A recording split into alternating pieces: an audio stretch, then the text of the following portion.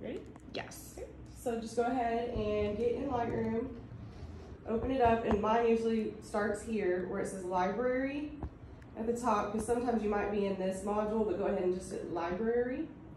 And go down here to the bottom where it says import, dot, dot, dot. Does everybody see that on your computer? Oh, you're doing the import already. Mhm. Yeah, this is importing into Lightroom. Yeah.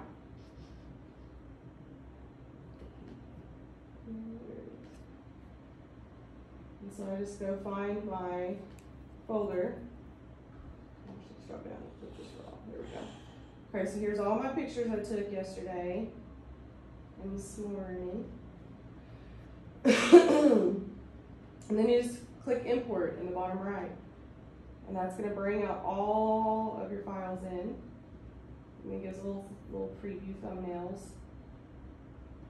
Is everybody looking like this? No, No? but Okay. I had trouble with it before. It says fail to initialize camera raw.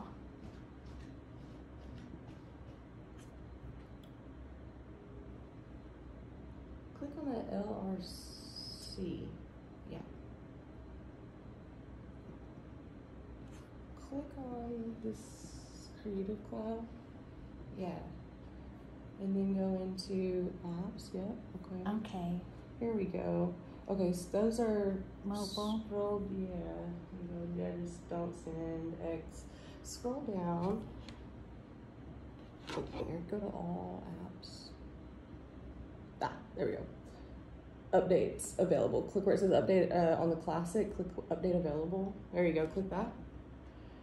and then hit update on the classic.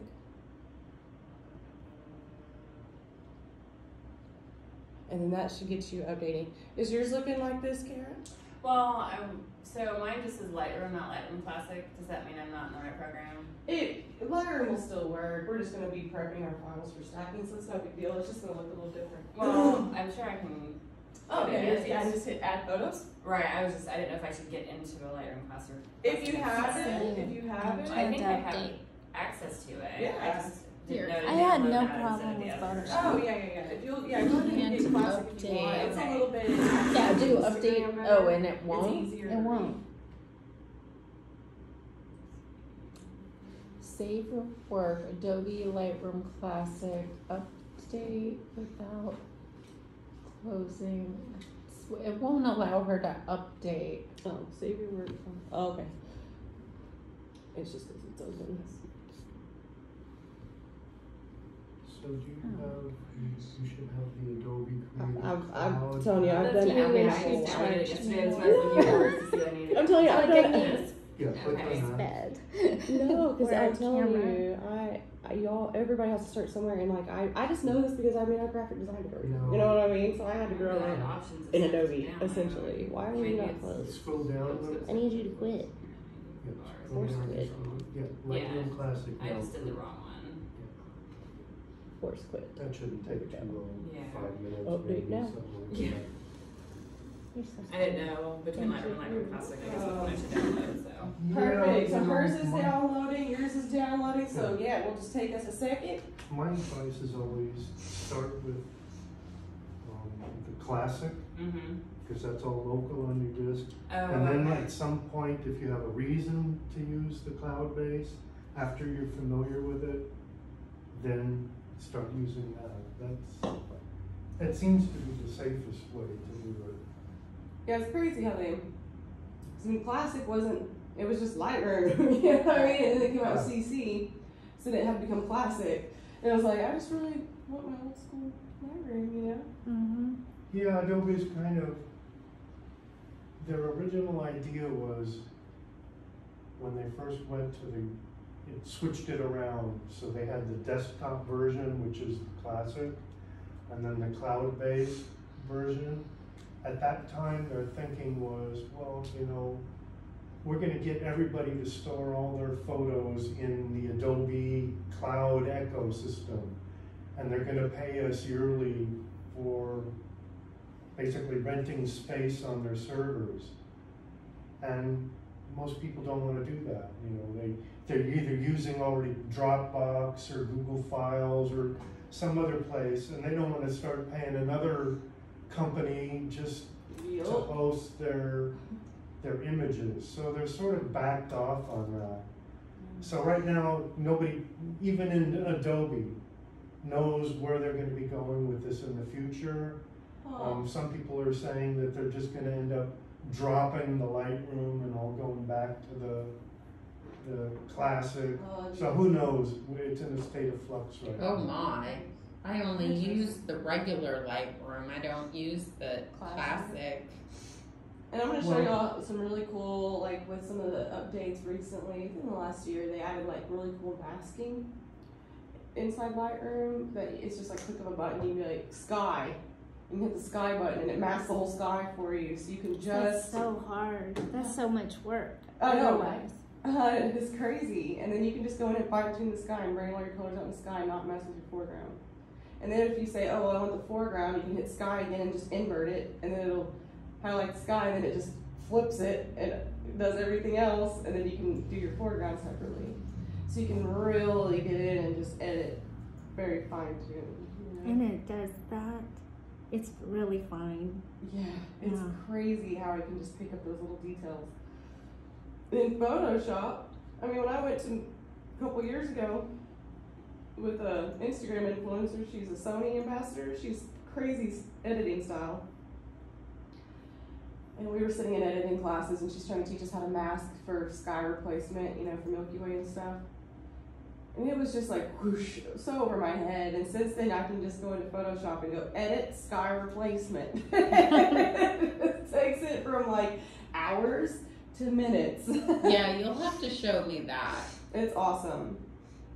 Um, I like need to do it in Lightroom. I don't know if you're having any issues doing This this. Mine was- is at one percent. this was Thunder. Oh, it might be really Oh, slow. that's no, good. that's fine. I can I'll show you the birds and everything. The classic, No, no, no, so. it's fine. Just go ahead and open regular. Loved. And that's okay. Yes. It'll work. gonna We're just download prepping for so we're not doing. We're not gonna be using it. Will really. the way that you use it be much different between the two? Like the functions will be like the same, Yeah. just organize all the Yeah, Okay. and it'll look similar. So when I'm going through the motions, you'll it's just you'll see it's like a. This one looks more modern in Right, interface. this one's more boxy. That one's more bubbly. but yeah, just go ahead and add your photos in, and then um, So, do you normally just add all your photos at once, or do you like parse out like the ones that maybe don't make the cut to even deserve editing before you add? I just I throw them you all. just put them all in there and then just And the ones 'cause that- it's- It's funny because you what you think is not going to look good in preview when you get it on a big screen. You're Oh, I know. Oh, Some yeah. like ones that are out of focus. And Exactly. I'll have a lot of them. Or Oh you may God. love one, then you get it in, you're like, ooh, that was not right. So, did yours still updating? It's starting. Yeah. It's starting. It's at 5%. oh dang, got speed racer over there. She started here. I did just do it. I mean, it, this is must be a brand new update. It I had be. just done it. Must be, and maybe yours is acting funny because it was like, whoa, in between updates. This photo was super fun. It was just a light painting mess, but look how fun that is. That is fun. It was fun. Nah. Light. Oh, funny. Where's the one of all y'all? I think it's right here. There we go. There you are. Hmm, cool. The Milky Way. Mm.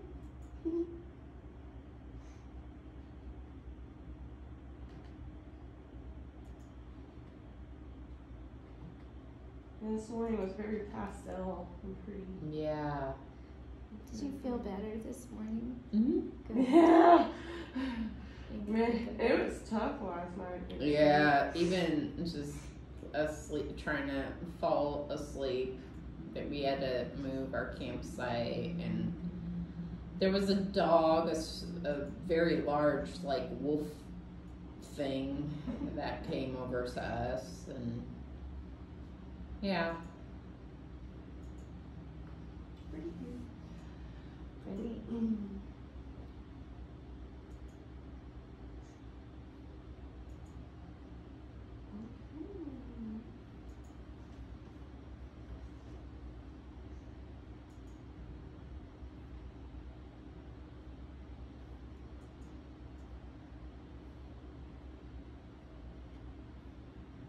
yours get imported over there on yours? It's working on it, yeah. Working out perfect. Yeah. Sweet. How many photos did you take? Does it? I only took I 208.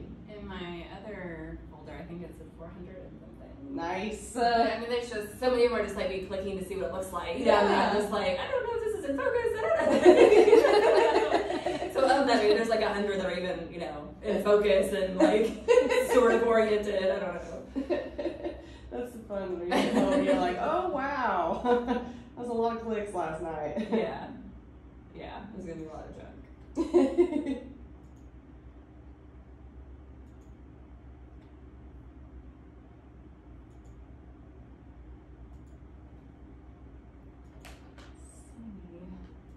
They're really cool videos.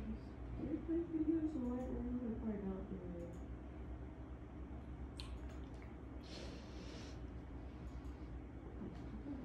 Oh, that's It's a pretty. sunrise. And flowers. Yeah. That's beautiful. Oh yeah, here's like my my my attempt at videography. oh, there it goes. Oh. Oh, how pretty. Oh, I like that. Yeah, that's neat. Oh.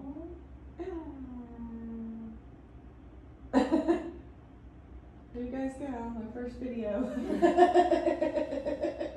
It's pretty. I just had it on auto. I don't know a thing about videography. That's a whole other beast now, let me tell you. Hmm. It's crazy.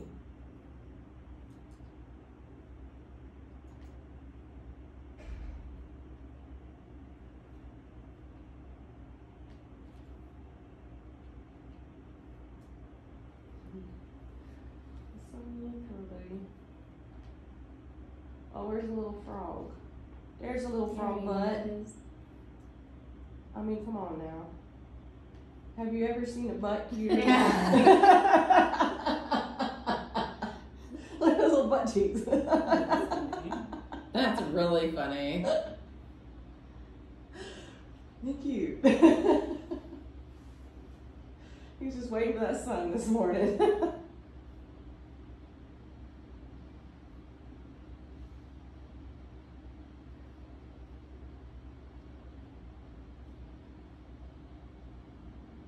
Hmm.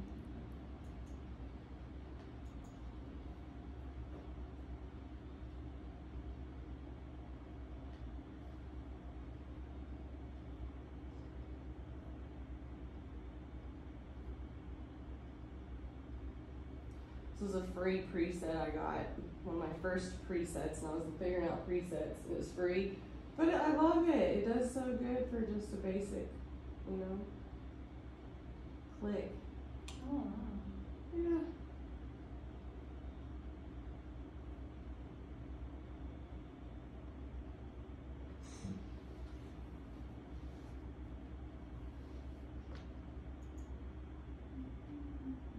How's it doing? Twelve. Twelve That's percent. a twelve. How's yours doing, Kara? Oh, I canceled it. Oh. I mean, it was sitting at one, and then it was acting like the regular Oh. um, one needed to update, and so and it wasn't uploading my photos at first. I just canceled it. I'm like, I don't think my computer can handle everything at once. So Did you get your photos added? in? Yeah. Oh, perfect. Your okay, so yours is ready. To just, Yeah. Okay. Yep. Do you mind if we just walk ahead a little bit? That's okay. Is okay. that okay? Um, Because we can, I can walk you through it again, real quick. yeah, and I don't, I don't. We're recording too, so That's true. Yeah. I I have uh, affinity that I know a little bit. It would work for now Cool. while I'm waiting. Sure. Yeah. Let's just and you, uh, stop and ask questions anytime if you feel anything. Like Okay. if you're feeling like uh, something's not making sense. Okay. So what I'm gonna do tonight, or today, we're just gonna work on how to stack those pictures we took last night. Because I said how important stacking was. Whenever you work with higher ISOs to keep your shutter speed lower, you're introducing noise. So we're gonna get rid of that noise today, and we're gonna come out with a clean, crisp photo, and then we're gonna run it through editing and learn how to like stretch your histogram and do things like that, and then that way we can get as much information out of the picture that we can get. So typically how I know that uh, where to start counting backwards to get my stack is like here I changed compositions. Obviously I nailed it and I changed compositions. So here I was a vertical and then I went to a landscape. So I know my stack for this image starts here. And so I'm gonna count back nine. So there's one, two, three, four, five, six, seven, eight, nine. Now maybe you only took four, or maybe you only took six, or whatever. I took nine. So I can go back nine. And so to prep your file to get ready for Starry Landscape Stacker, you got all these tools over here, all these slider adjustments. We're not going to do much on this front end. You can see it was shot at 3600, which is where I want it to be anyway. But see my data up here? Now I am stretching, my his, my histogram is kind of falling off this, so it's good. I'm getting, that's, that's quite a bit of data to work with at night. Um, but I'm gonna come down here and I'm just gonna raise the exposure about 0.3. And then I'm gonna lower my contrast by half. And see how that kind of changed this? Gave me a little bit more. Mm-hmm. And see, but it made the photo a little bit muddled, but now look at this detail I pulled out in the sand that I couldn't see before. And I'm gonna actually flip this light, if y'all don't mind, just so you can actually see what it's doing. Is that better? Okay. So now I've gotten the sand textures, pulling, things like that. Um, so now I'm gonna go down here and I'm going to just skip through all this. I'm gonna turn off sharpening, so it automatically does a sharpening thing. And I'm gonna off all denoise. And my import loves to do the enable profile correction. Uncheck that. You don't want that. and chromatic aberration, removing it, that's fine. Okay, that's only thing I do to get ready to stack it. So I kind of made it look a little less interesting, honestly, a little more muddy and muddled and So flat. you do that for each one. Well, what you can do for a little trick, so I just got this one done. So then I'm gonna go and I'm gonna shift click the last one in it and highlight all of them and then hit sync and Oh. synchronize. So it just does all nine for me. do so the exact same. Does it sync based on the first one? On the Yeah, the first one that's highlighted the brightest. It's gonna sync them all the same way. So just, you know, if you wanna double check, you can go in here and click and be like, did it? Yep, there's my up, down, nothing else. Sharpening's off, denoise is off. Okay, cool, it did it. That's a big time saver. Huge time hack. Mhm. So now I've got all the nine hi- highlighted. And so another time hack, because I need to export these to, you know, get ready to import them into Starry Landscape Stacker. So Shift Apple E, or you can even just go up to File Export, and it's going to pull up the export box. So I'm going to make sure that I am putting it in the right folder. So my hard drive here. Oh. And then you save Oh. it. Yeah, and so I can just go in here, but okay, there's here, stack, right? Because these are the ones I'm gonna be stacking, so it goes into that stack folder. I choose that folder. It's gonna need to be a TIFF. I don't want to resize to fit that. I'll make sure this is 300 until I've been doing real estate photos. Make sure it's 16 bit, Pro Photo RGB. Export. And it's exporting those nine pictures for me. Did that all make sense, Karen? I'm not at all where you are. So I'm coming. I mean, I'm just. I thought maybe once you get to this, a stopping point, you just kind of. No, yeah. Mine, mine look a little different. I'm not sure where everything was at that I Yeah. went through. No, you're So I think I've got like four in here, but I haven't done any of the changes that you said. They're, they're Remember how not I said like we'll change the games. color They're not. later? in Yeah. No. So see how it's they like are- bold? Mm-hmm. So it's, it shot it at Oh 70 boy, how good hundred. is So it I'm with them? They have these black Down things. They're these Oh. special 4,000. cranes. Oh, actually about 3600. Thanks. So now that, now it looks like a nice. That's Yeah. that's what I And then thought. we can work It on looked exactly the like it. exposure up, just It's crazy. About right there. Yeah, I see the. Contrast down to half. Yeah, the when they're flying, um, the bottom of their wings are fully black, but the rest of their bodies are white. I think I'm right clicking somehow. There we go. A little too much. There we go. We don't remove any of that, and then we take the sharpening. And we take it all the way down. And then the denoise. That's one thing I do is I'll get really close to look at my bird to see how in focus and down. The actual And picture is. Because you know when it's from afar, you might And so think, then you oh, go, you it turned out really two, well. Yes. And then And then you click get that. up really and close in and you look at your birds and you're like, here, I think it's like. oh, It's muddled. it, yeah, it's totally blurry. Whereas I know this one turned out really well. Well, turned out decent, not perfect. Depends on how close you want to get up. This. I'm talking about been in this Horrible. in a while.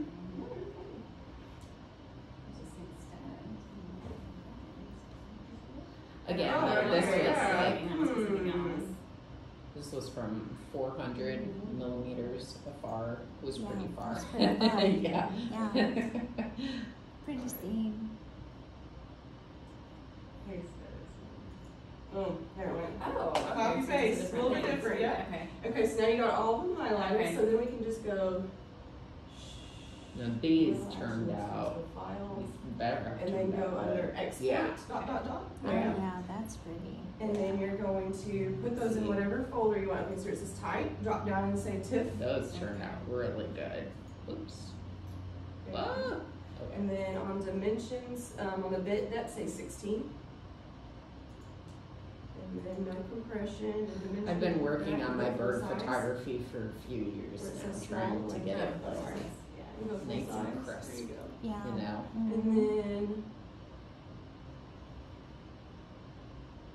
Okay, yep, and hit export, and then it's gonna ask you where to put it, and you click what folder. There you go, now just tell it what folder to stick that in.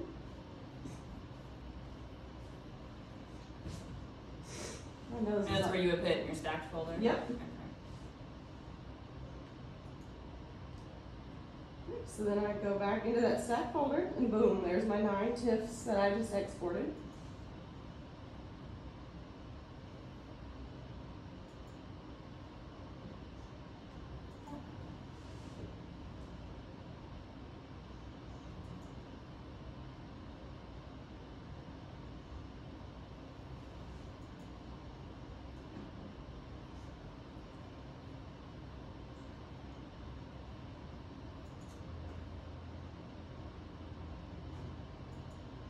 Did yours show up? It's working on it. Cool. Um, oh yeah, it's exported. Okay. Okay, sweet. So now you open Starry Landscape Stacker. We were able to get that downloaded earlier. Starry Landscape Stacker. No. A big deal. It's a interstacking software. I believe I have it. Yeah. I know. It's uh oh yours would be one. Sequator because you're on a PC. Sorry. Okay. So, so like uh, I just Google. for Yeah, where did she find Sequator? Uh, yes, just Google it and it'll come up. How do you spell it? S E Q U A T O. Sorry, landscape stacker. Okay. And it should be free Yeah, for you have for PC. And it pretty much runs just the same, right? As Pretty Star- close, I pretty mean, the same principles. Okay. You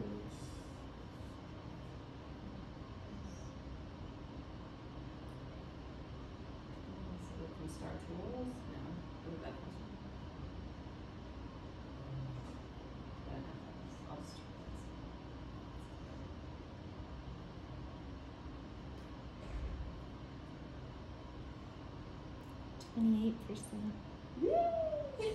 I would search for Sequator download. I think you can download it directly from the.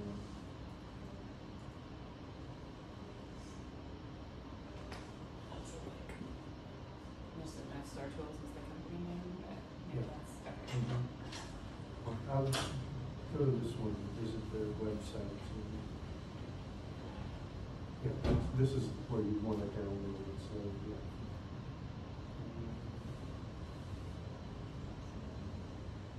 Are you And you want editing? the latest version, which is down here, down here. And these obviously these aren't anything with stacking. I've never tried to stack Yeah, birds that's a in flight. Yeah, that's No. maybe That that would would work. work. No, I don't think that would work. Well, that's, it's a very. It'd be a small- bunch Oh, of yeah. funny looking double So, yeah, now exposed. Yeah, it- Unzip it and look right. install that. See, it's funny how you have to have like all these other programs, do all these other things, and you just bring it right back into Lightroom. So, we just prepped them for to stack, and then we're gonna stack, and then we'll take it back and edit.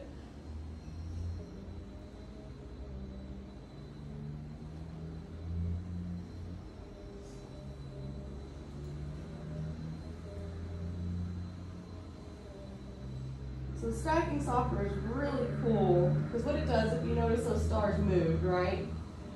All night, they moved over around the terrain, and so it's going to take it and it's going to realign all to one, you know, so that Nice. way there's all pinpoint. It's very free and clean.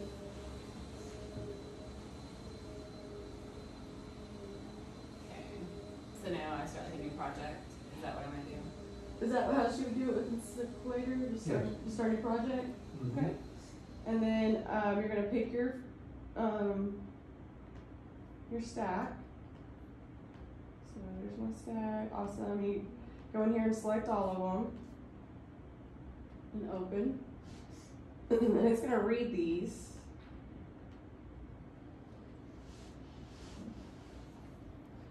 So if I remember Sequator correctly, it does not work with raw files, unless Really? they've changed that. Oh, I don't know, so, I don't use it anymore, so I use Storyline State. so I just yeah, tips, man. I can probably pull it out again. Um, So we'll, we'll find out real quick.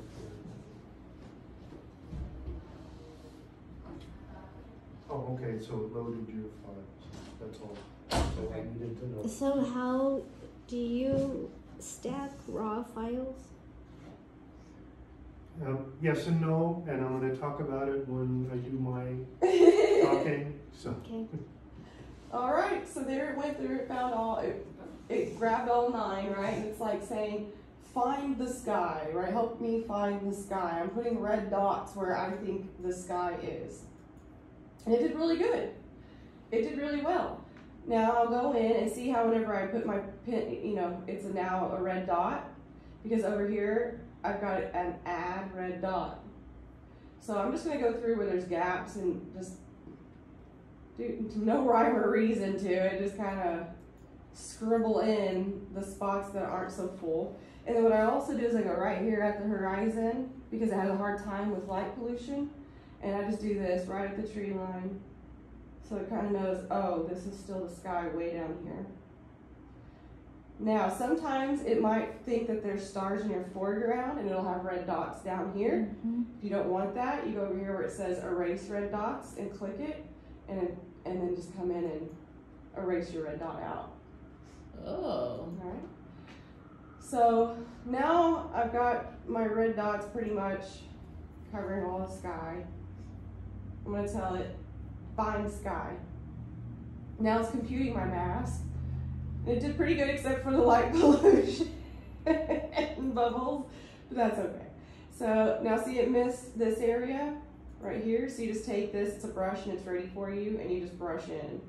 If you need it, the brush to be bigger to cover more area, you just close bracket and it makes it bigger. And then you can just really go fast.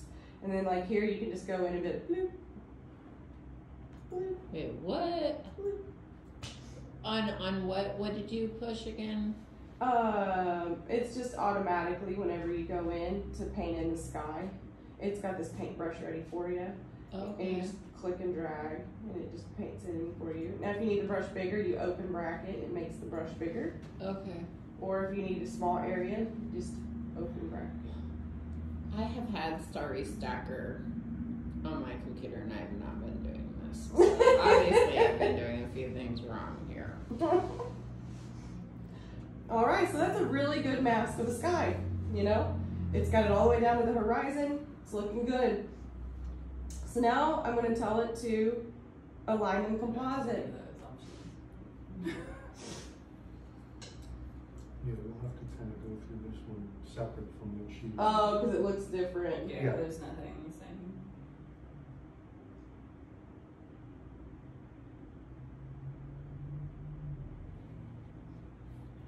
So, yeah, why don't you just watch what she's doing here?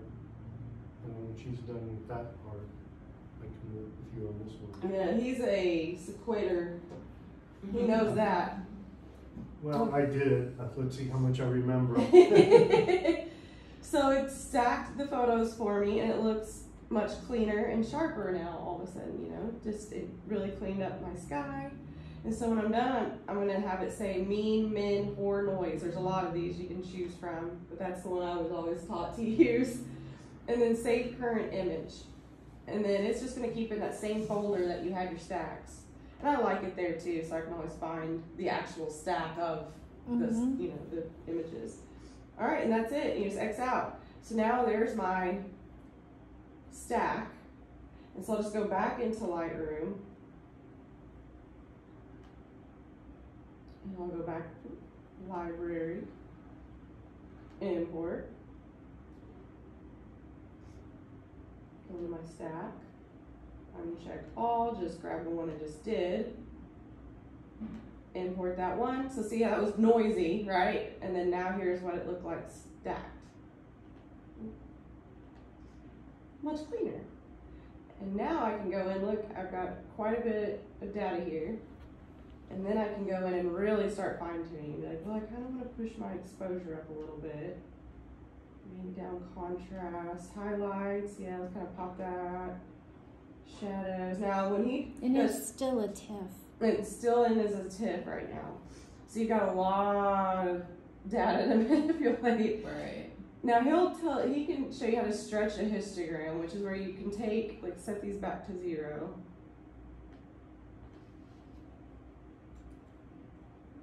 And then you hold down on map, you hold down alt or option, and then you go to click on highlight and you can see where you're clipped. And then you can get rid of it.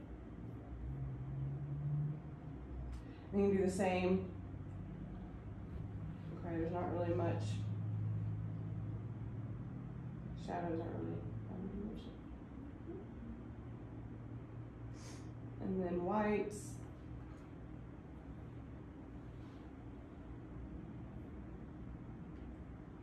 Same with blacks.